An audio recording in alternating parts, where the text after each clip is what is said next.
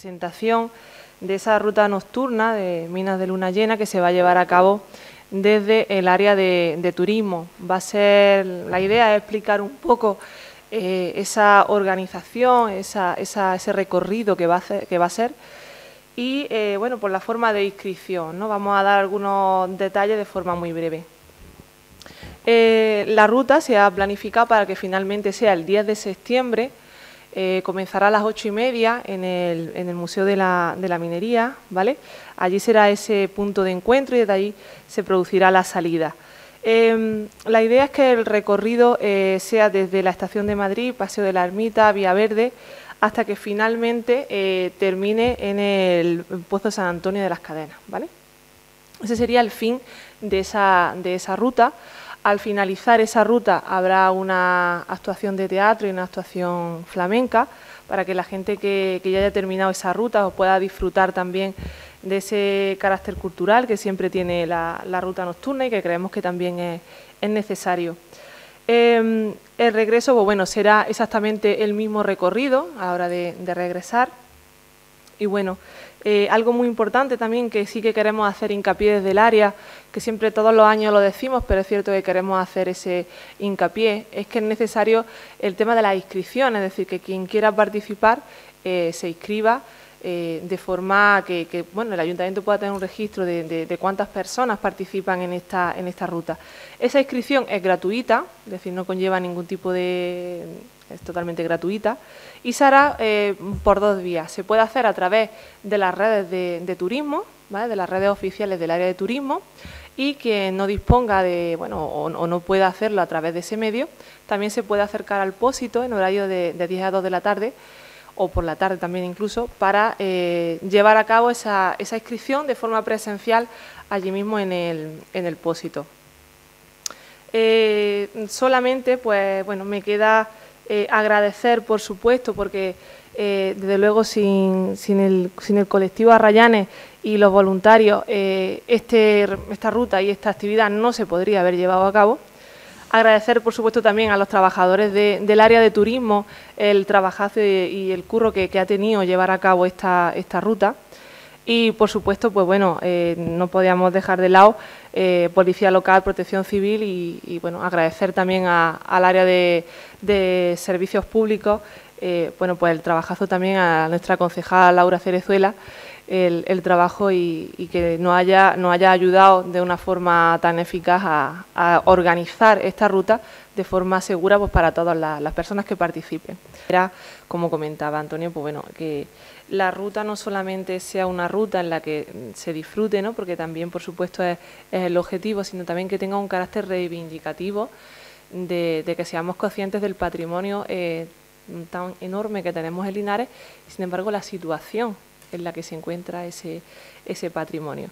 Y eso, pues, bueno, acompañarlo también de, pues, de esa parte también más lúdica que se hará a través de, esta actuación, una actuación conjunta de teatro y cante, que, lo que se pretende es bueno que la gente también pues disfrute, pero que no se pierda ese carácter reivindicativo, porque al final eh, este año pues el colectivo y también el área eh, lo que se le ha querido dar es ese, ese carácter de reivindicación.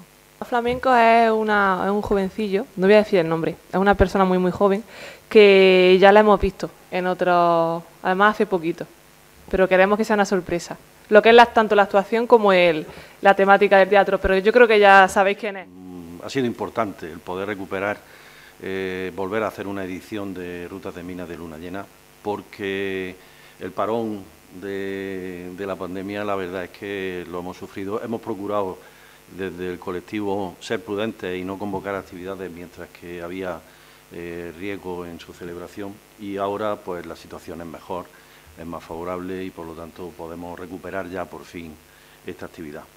La recuperamos con una, con una idea eh, que siempre hemos tenido, pero que en este caso está un poquito más remarcada, que es la idea de eh, visitar aquellos puntos del patrimonio que, que tienen una significación importante, y que también en este caso pues están sometidos a unas presiones que hacen que el patrimonio pues, esté sufriendo, el patrimonio que hay en esos sitios. En concreto, el filón de Pozo Ancho y la Cruz, que es uno de los más importantes de, esta zona del distrito y uno de los más extensos, pues es el que vamos a visitar. Claro, vamos a visitar solamente una parte, porque un filón ya que por sí ya tiene más de 5 kilómetros de largo, pues es complicado de además llegar desde Linares y, andarlo en, toda, en su totalidad.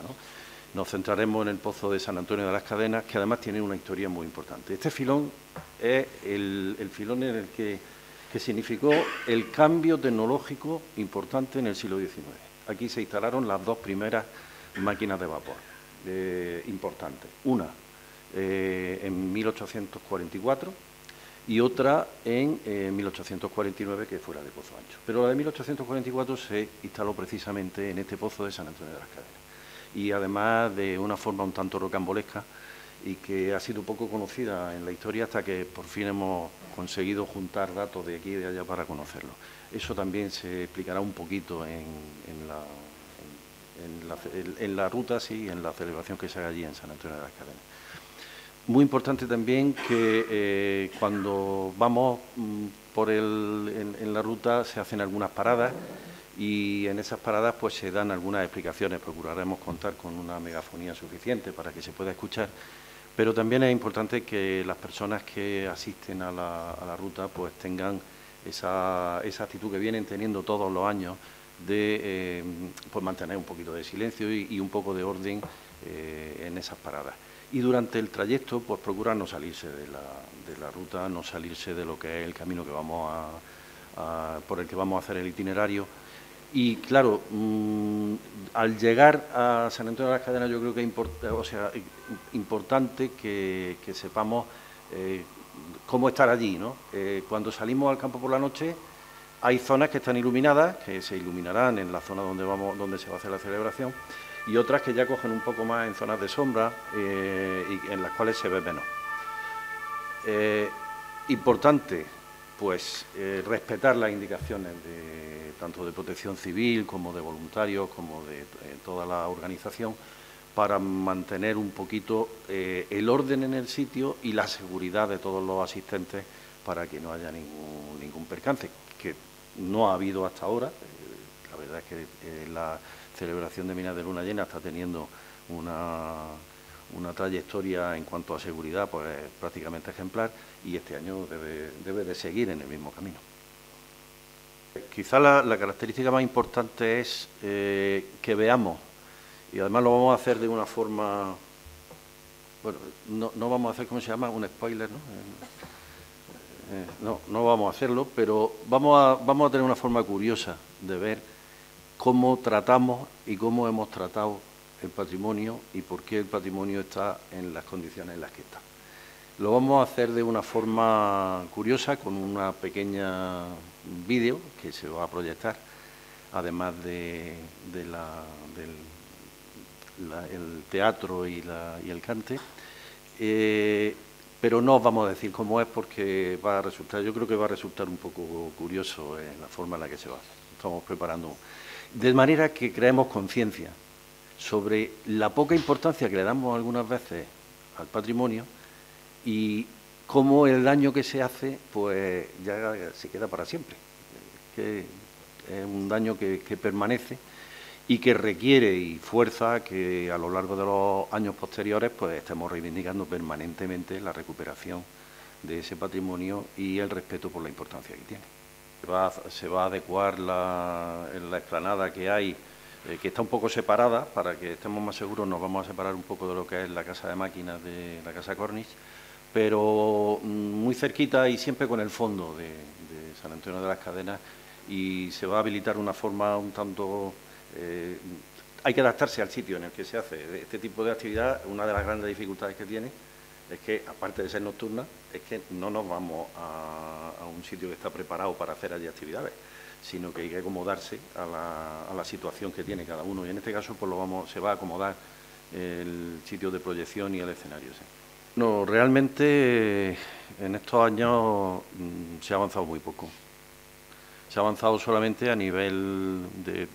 Hombre, el colectivo ha seguido haciendo su trabajo de catalogación, hemos continuado con el trabajo, adaptándonos a las circunstancias. En cuanto que se pudo volver a salir al campo en el municipio, pues volvimos a salir al municipio, cuando se pudo ampliar eh, la salida, en fin, ¿para qué vamos a hacer ahora una historia de, lo que ha sucedido en estos dos años, pero es cierto que sí, como colectivo hemos seguido trabajando, pero lo que son los grupos de trabajo, el, que se habían, el grupo que se había formado para, para la catalogación de, zona patrimonial, pues no ha tenido eh, ninguna actividad y ahora eh, es importante retomarla.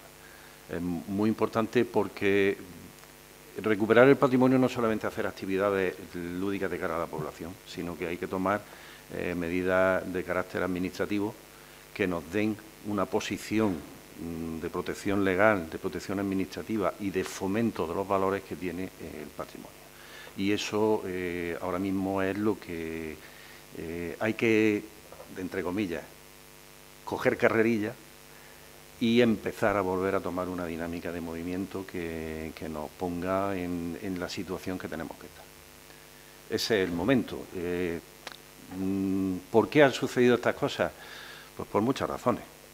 Es verdad que, puede haber muchos eh, detalles que, eh, o incluso algunos reproches que se puedan hacer acerca de por qué estamos aquí pero lo cierto es que estamos donde estamos. Y ahora mismo lo importante es cambiar esa dinámica, es decir, que ante una dinámica de parón y de inactividad, lo importante es cambiarla y empezar a tomar una dinámica de actividad y de volver a planificar y hacer un trabajo metódico, porque esto es muy importante, es muy importante. En otros lugares se está haciendo, es verdad que en otros lugares no se ha parado de hacer lo que se estaba llevando a cabo, pero nosotros que hemos tenido este parón, pues lo importante es cambiar la dinámica y, y volver a tomar el camino.